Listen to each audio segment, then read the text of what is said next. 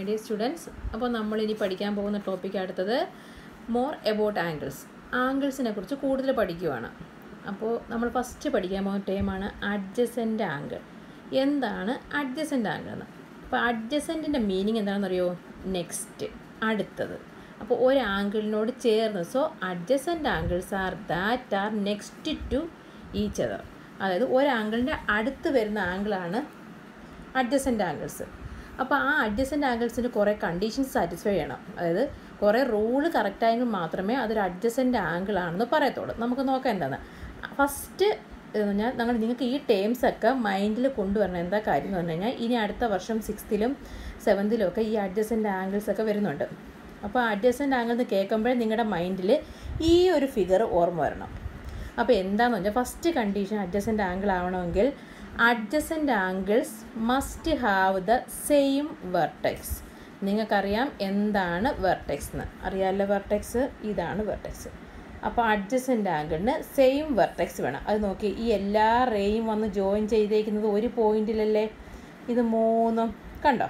അപ്പോൾ same vertex second നോക്കിയേ adjacent angles must have one common ആ അതായത് ഈ ഒരു ആംഗിളിനും ശ്രദ്ധിച്ചോണേ നിങ്ങൾ അതുപോലെ ഈ ഒരു ആംഗിൾ അപ്പോൾ ഇവിടെ രണ്ട് ആംഗിൾ നിങ്ങൾക്ക് കാണാം. ഒന്നാമത്തെ ആംഗിൾ രണ്ടാമത്തെ ആംഗിൾ ഈ രണ്ട് ആംഗിളിനും ഇതല്ലേ കോമൺ എന്നുവെച്ചാൽ ഇവ ഇവർ വന്ന് ജോയിൻ ചെയ്യുന്നത് ഇവിടെ. അണ്ട് വൺ ഇങ്ങനെ പോയാൽ ഇതൊരു ആംഗിൾ അതുപോലെ അടുത്ത ആംഗിൾ ഇങ്ങനെയാണ് പോകുന്നത്. അപ്പോൾ ഇവർക്ക് രണ്ട് പേർക്കും കോമൺ ആം ഇതാണ്.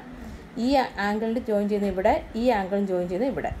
അപ്പോൾ കോമൺ ആമും വേണം. അപ്പോൾ മൂന്ന് rule first one adjacent angles must have the same vertex second adjacent angles must have one common arm രണ്ട് third one adjacent angles must be on either side of the common ഈ adjacent angles common ആമിന്റെ രണ്ട് either സൈഡിലായിരിക്കണം കണ്ടോ? ഈ common ആമിന്റെ either സൈഡിലാണ് adjacent angles അപ്പോൾ ഈ റൂൾസ് ബൈ ഹാർട്ട് ആക്കിക്കോണം.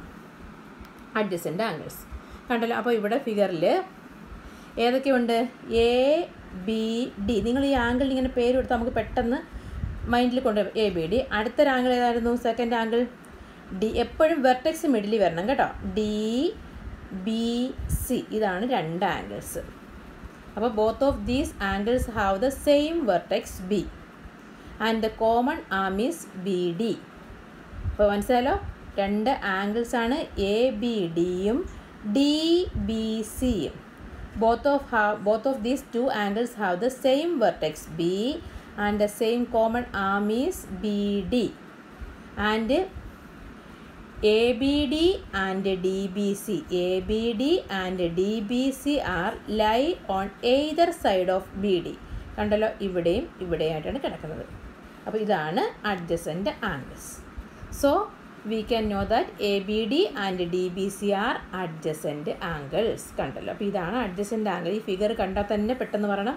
ഇതൊരു അഡ്ജസന്റ് ആംഗിൾ ആണ്. കണ്ടല്ലോ? എന്നാൽ അടുത്തൊരു ഫിഗർ നോക്കിയേ. ഇത് അഡ്ജസന്റ് ആംഗിൾ ആണോ? നോക്കിയേ. ആണോ? സാധാരണ മൊത്തത്തിൽ മൂന്നെണ്ണേ വരാവുള്ളൂ. അങ്ങനെ ഒന്നെങ്കിൽ അഡ്ജസന്റ് ആംഗിൾ ആണെന്ന് മൈൻഡിൽ വരണം കേട്ടോ. ഇത് നോക്കിയേ നാലെണ്ണം.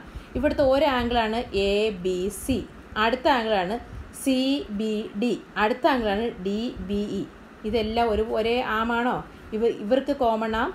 ഇത് രണ്ടിനും കോമൺ ആം ഇത്.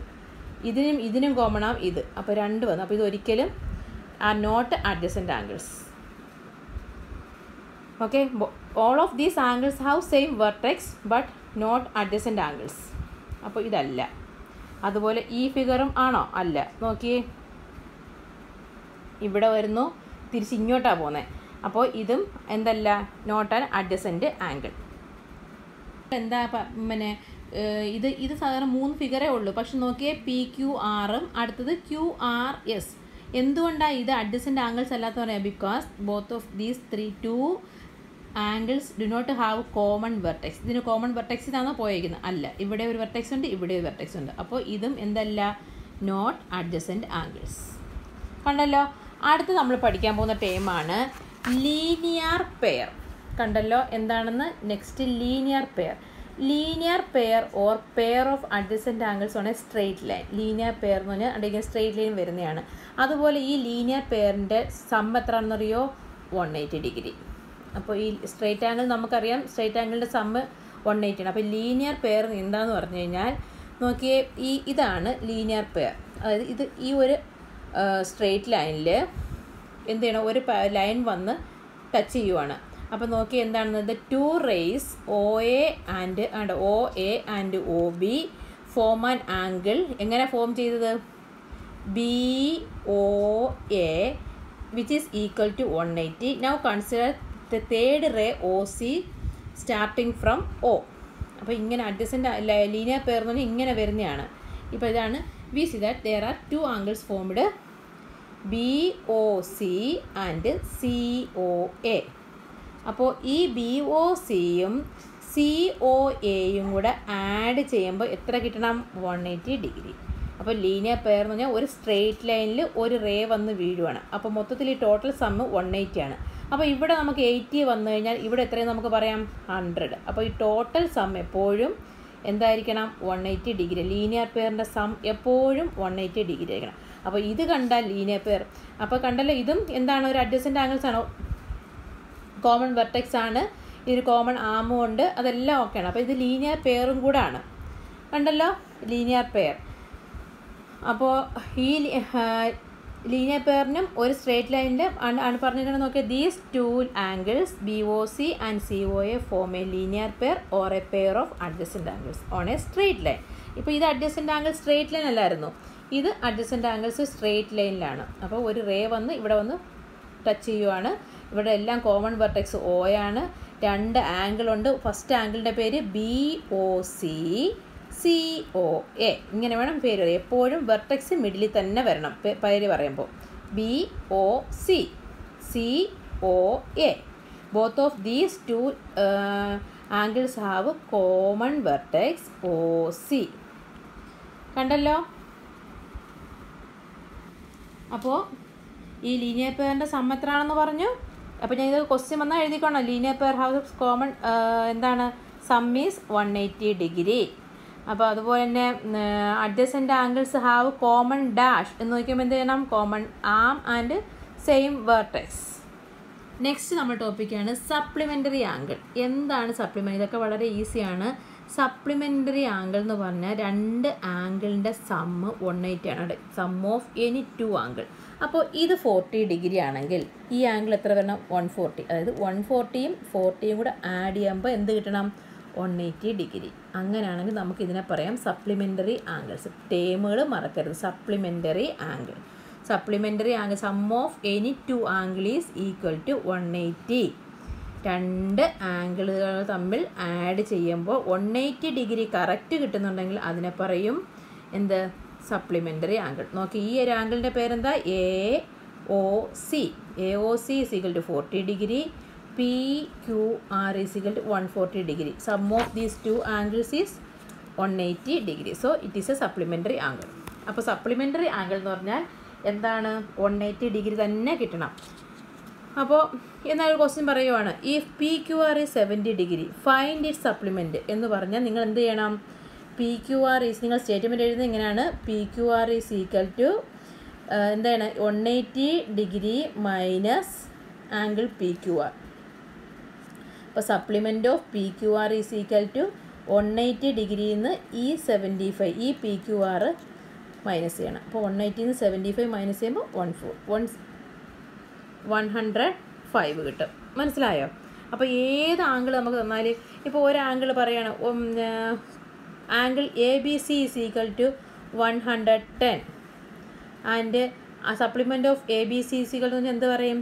One എയ്റ്റിന്ന് one eight one eight zero one എയ്റ്റിന്ന് എന്ത് ചെയ്യണം? വൺ ഹൺഡ്രഡ് ടെൻ മൈനസ് ചെയ്യുമ്പോൾ ബാക്കി സെവന്റി ഡിഗ്രി അപ്പോൾ അതാണ് സപ്ലിമെന്ററി ആംഗിൾ ഇനി ഒരു ടേം ഉണ്ട്. അടുത്തത് കോംപ്ലിമെന്ററി ആംഗിൾ ഉണ്ട്. അപ്പം തിരിഞ്ഞു പോകരുത് സപ്ലിമെന്ററി ആംഗിൾ എന്ന് പറഞ്ഞാൽ രണ്ട് ആംഗിളുകൾ തമ്മിൽ കൂട്ടുമ്പോൾ എന്ത് കിട്ടണം? വൺ എയ്റ്റി എന്നാൽ കോംപ്ലിമെന്ററി ആംഗിൾ ആണെങ്കിൽ എന്താണ്? രണ്ട് ആംഗിളുകളുടെ മെഷർമെന്റ് നയന്റി ഡിഗ്രി വരണം. രണ്ട് ആംഗിളുകളുടെ മെഷർമെന്റ് നയന്റി ഡിഗ്രി അപ്പോൾ ഈ ഒരു ആംഗിൾ ട്വന്റി ഫൈവ് ആണെങ്കിൽ മറ്റേ ആംഗിൾ സിക്സ്റ്റി ഫൈവ് ഈ സിക്സ്റ്റി ഫൈവും ട്വന്റി ഫൈവും കൂടെ കൂട്ടുമ്പോൾ എത്ര കിട്ടണം? നയന്റി കിട്ടണം. ഇപ്പോൾ ഒരു ക്വസ്റ്റ്യൻ നോക്കിയേ.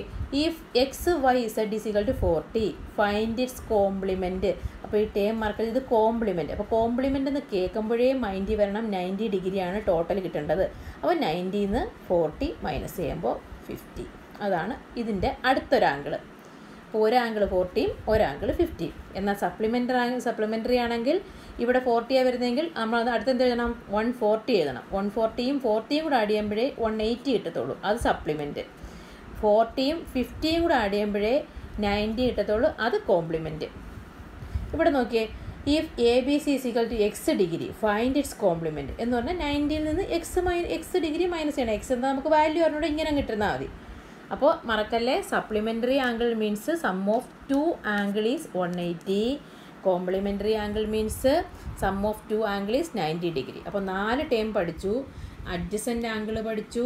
ലീനിയർ പെയർ പഠിച്ചു. ലീനിയർ പെയറിന്റെ സമ്മും വൺ എയ്റ്റി ആണ്. സപ്ലിമെന്ററി ആംഗിൾ വൺ എയ്റ്റി ആണ്.